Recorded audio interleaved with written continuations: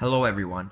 Today's demo is about the Zopid Mini Vacuum Cleaner. Right now, we're going to begin unboxing the vacuum cleaner.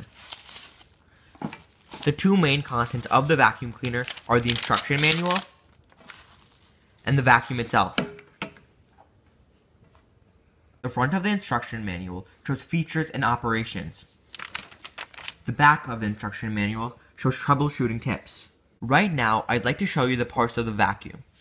The part on the top over here is known as the brush and suction tube attachment, containing three nozzles and a brush in the back.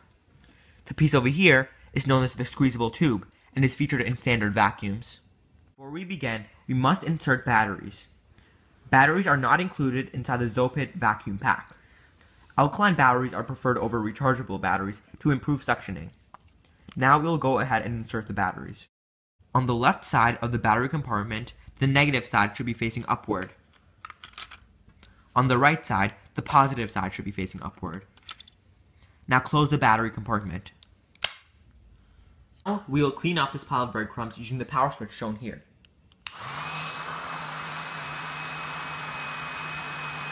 Make sure not to cover the fan located over here in order to maximize suctioning power. As you can see, this vacuum has great suctioning powers. After a while, you'll notice the suctioning power of the vacuum begins to decrease. In order to prevent this, you must open the vacuum counterclockwise and remove the shavings. In order to put these two pieces back together, connect them and turn clockwise.